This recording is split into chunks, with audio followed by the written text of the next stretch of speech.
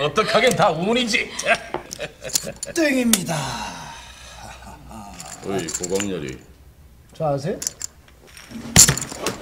너는 첫 판부터 장난질이냐? 이 손바닥에 하트 한장 붙어 있다는 것에 내 돈 모두하고 내 손 하나를 걸겠다 너는 무엇을 걸래? 왜 이러세요? 삼촌 아, 예? 이러니 돈을 꼬르셨다 아, 예. 자, 내동매매에 대해서 좀 강하게 각인을 하고자 재밌게 본 타짜 영화를 좀 이렇게 패러디를 해봤습니다. 안 하던 걸 좀 했죠.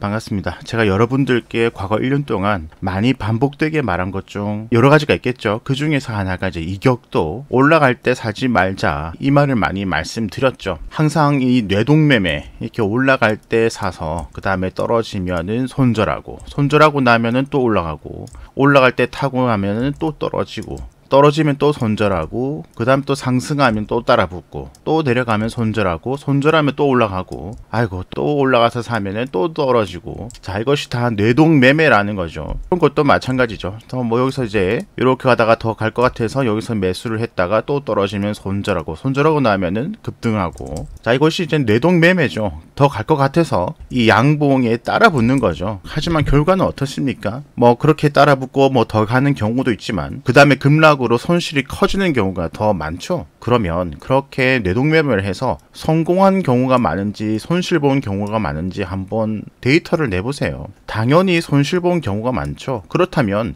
이 매매를 당장 중지를 해야 되는 겁니다. 자, 이렇게 이격도 주가와 이동평균선 간의 이 이격도 어, 이것의 거리를 바로 이격도로 하는데 자 이렇게 이격도가 멀 때는 항상 기본적으로 20일 이동평균선 여기선 노란색으로 표시되어 있어요. 20일 이동평균선 까지 내려갈 가능성이 있다고 생각하시면 됩니다. 여기서 보시면 20일가의 이격도는 40%거든요. 마이너스 40%까지 갈 가능성이 있다라는 겁니다. 자, 여기서는 이격도가 20일까지 34%, 34% 내려갈 가능성이 있다는 겁니다. 20%, 30%, 40% 하락할 가능성이 있는데 매매를 한다? 어, 저는 그렇게 매매를 하지 못하겠습니다. 이것을 제가 아무리 이격도가 멀 때 사지 말고 20일 농평균선과 가까울 때 매매를 해라고 계속해서 설명을 드려도 계속해서 이격도가 먼 곳에 따라 붙는다. 아무리 말해도 안 되는 분들은 안 되죠. 하지만 뭐 고치신 분들도 정말 많더라고요. 댓글 보니까. 자, 그러면 다른 방법을 한번 써보자고요. 자, 그래서 오늘은 보조지표를 한번 활용해보는 방법을 공유를 하고자 합니다.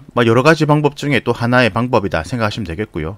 자, 키움증권 기준입니다. 여기 왼쪽 위에 이 부분을 클릭을 하시면 이렇게 새로운 창이 뜨죠. 여기에 차트 형태 말고 기술적 지표라고 있습니다. 폴더가 있는데 여기 가격 지표 폴더에 들어가시면 envelope이라고 있습니다. 여기서 클릭하시면 금방 이렇게 지표가 하나 떴죠. 자, 오늘은 envelope만 보기 위해서 다른 지표들은 임의로 지우도록 하겠습니다. 이제 envelope만 남았고요. envelope도 잘 보기 위해서 조금 진하게 만들어 보겠습니다. 어, 요것이 이제 중심선 중심선, 아, 중심선은 여기 20이 되어 있죠. 이 중심은 지금 20이 되어 있고 밑에 이제 퍼센트 해가지고 6이라고 되어 있습니다. 여기가 중심선, 즉 20일 동평균선이고 20일 동평균선과의 거리를 이격도를 나타내는 것입니다. 6%로 설정되어 있습니다. 본래의 이 엔벨로프라는 보조지표를 활용하는 것은 이 하방과 상방을 보기 위해서 보는 거거든요. 지금 삼성전자 주가를 보시면 올라갈 때는 상방 부근, 또 내려갈 때는 하방 부근. 여기서 또 반등을 하고 중심 지지 반등 또 내려오면은 하방 그리고 상방까지 가고 상방을 돌파하면 추가적으로 나오고 크게 봐도 하방 상방 하방 상방 이렇게 좀 지지 저항을 받고 있죠. 자 그런데 보조지표에 대해서 제가 예전에도 계속해서 말씀드렸다시피 보조지표를 신뢰를 하지 않습니다. 말 그대로 보조지표고요. 그러니까 이렇게 참고를 하는 거죠. 뭐 삼성전자 차트를 보고 있는데 여기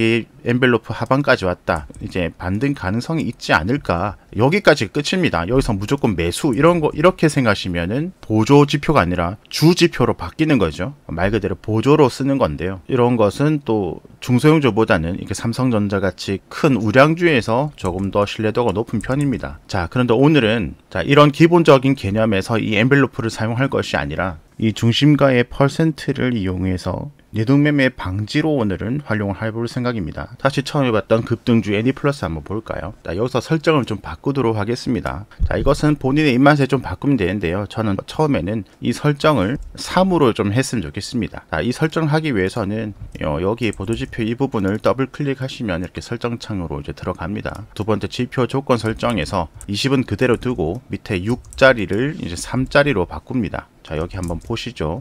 이것이 더 좁아질 겁니다. 6 대비 3은 이게 더 좁아지죠. 자, 이 3이라는 것은 무엇이냐면 21동 평균선 대비 위로 3, 밑으로 3, 위에 아래 약 3% 정도의 이렇게 가이드라인이 자동으로 그려주는 것입니다. 이 시세라는 것은 위와 아래 이렇게 지그재그가 만들어지죠. 이런 지그재그에서 단기적으로 가장 중요한 라인이 21 이동 평균선입니다. 단기적인 시세의 중심이 되는 부분이죠. 항상 이21 이동 평균선 근방에서 매매가 들어가야 됩니다. 다시 처음으로 돌아가 볼까요? 21동 평균선과 멀어지면 멀어질수록 내려갔을 때는 여기까지 다시 내려갈 가능성이 커진다고요. 20일과 멀어지면 20일과 가까워진다고요. 20일과 멀어지면 20일과 가까워집니다. 20일과 멀어지면 20일과 가까워집니다. 20일과 멀어지면 20일과 가까워집니다. 그러면 이렇게 올라가면 올라갈수록 내려갈 가능성이 커진다라는 것이죠. 그럼 내려갈 가능성이 커질 때 매매를 하시겠습니까? 아니면 내려왔다가 다시 올라갈 가능성이 커지는 여기 이 근방에서 매매를 하시겠습니까? 수익을 보더라도 여기서 매수해서 여기서 매도하는 것이 수익이 클까요? 여기서 매수해서 여기서 매도하는 수익이 클까요? 먹을 수 있는 부분도 다르다라는 거죠. 이것을 3%로 잡든 4%로 잡든 5%로 잡든 자 우선은 3%를 잡았습니다. 이렇게 이동평균선 21선 과 매우 가까이 있을 때 매매를 들어가야 된다라는 것이죠. 매우 가까이 있는 곳에서 들어가자는 의미로 3, 4, 5 이렇게 짧게 잡은 겁니다. 적어도 그렇다면 이 밴드 안으로 들어왔을 때 매수를 고려를 하라는 거죠. 이 밴드 위에 있으면 여기까지 내려올 가능성이 있다. 이 격도 때문에 이 밴드가 여기 있는데 이 밴드와 거리가 멀죠. 그럼 내려올 가능성이 있다. 그러면 이 밴드 안쪽으로 들어오고 난 다음에 이렇게 매수를 고려를 해라는 거죠. 자, 여기서 매수를 하라는 것이 아닙니다. 매수 고려를 하자는 거죠. 자, 다른 종목도 볼게요. 이렇게 급등할 때 따라 붙지 말고 기다렸다가 이 엔벨로프 3% 밴드 안에 들어오고 난 다음에 자, 이것은 또 결과론적인 것입니다. 이렇게 들어오고 난 다음에 밑으로 또 꼬그라질 수도 있겠죠. 그렇기 때문에 항상 설명드리지만은 뭐 여기서 매수를 하더라도 20일 뭐 이탈 또는 여기 뭐 envelope 하단 이탈이라든지 여기 시세의 저점 이탈이라든지 손절은 당연히 잡고 매매를 해야 되는 것이죠. 자, 하지만 매수 고려 자체를 20일 이동평균선과 가까이 왔을 때 하라는 거죠. 여기도 상승하고 난 다음에 이 밴드 안까지 들어오지 않았지만 어쨌든 여기까지 가까워지잖아요. 그죠? 여기 꼬리를 보면은 뭐 이 밴드와 0. 몇 프로 밖에 차이 안 나는데 이렇게 밴드와 가까워지고 난 다음에 결국 상승을 하든 추가 하락을 하든 아, 이 가까이 와야 된다는 거죠. 아까 저렇게 급등주가 아니라 뭐 일반적으로 흘러가는 뭐 중소형주 테크윙이라는 종목을 한번 볼게요. 보시면 이 밴드 안쪽으로 시세가 들어와야 그 다음에 이렇게 먹을 게 생긴다는 거죠. 자 여기서는 여기와 중앙에 있는 20일과 이격도가 멀잖아요 그죠 이렇게 이격도가 멀니까 그 다음에는 떨어질 가능성이 생기잖아요 그죠 그럼 여기서도 머니까 떨어질 가능성 머니까 떨어질 가능성 여기도 머니까 떨어질 가능성. 적어도 이 밴드 안쪽에서 매매가 되어야 먹을 게 있고 결국에는 다시 또 여기까지 이격도를 줄이고 이 밴드 안, 안쪽으로 들어왔을 때 매매를 해야 먹을 게 생기고 여기서 사면 또 결국 내려가는 것이고 여기도 이 밴드 안쪽에 들어와서 매매를 해야 먹을 게 생기고 이렇게 올라갔다가 다시 내려왔을 때 이 밴드 안쪽에서 매매가 되어야 먹을 게 생기고 또 여기서 본인만의 손절가를 잘 정해야 되겠죠. 20일을 이탈하면 손절,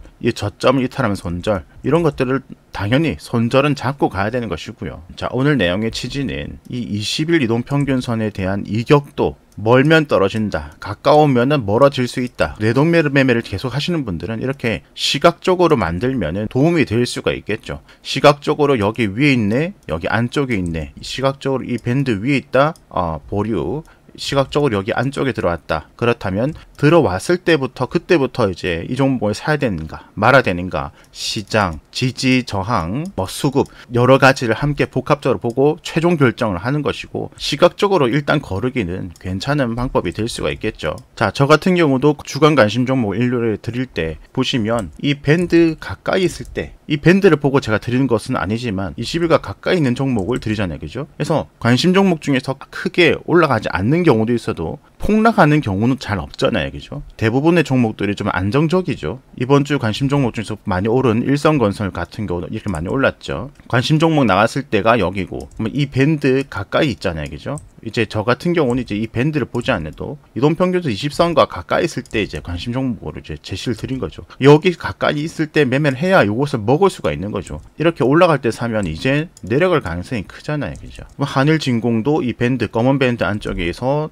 정산애강도 보시면 올라갔다가 이 밴드 안쪽으로 들어왔을 때 관심 종목인 것이고 다 보시면 20일 이동평균선과 가까운 부분이죠. 그죠? 자, 이렇게 뇌동매매를 시각적으로 조금 보완할 수 있는 방법을 envelope라는 보조지표를 활용해 보면 뭐 괜찮지 않을까 이렇게 생각을 공유를 드립니다. 안전한 스윙 매매 하시길 바랍니다. 오늘은 여기서 영상 줄이도록 하겠습니다. 구독, 좋아요, 알람 설정 무료입니다. 부자 되시운